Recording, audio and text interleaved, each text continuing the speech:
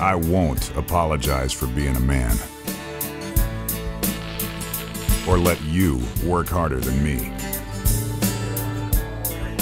I will protect those in need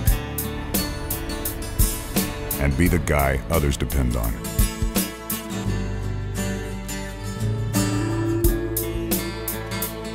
I will fend for myself.